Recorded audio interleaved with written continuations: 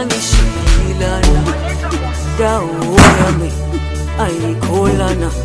us on Facebook and also Twitter. Remember, use your facial mask. No one is safe. And so speak, coronavirus is real.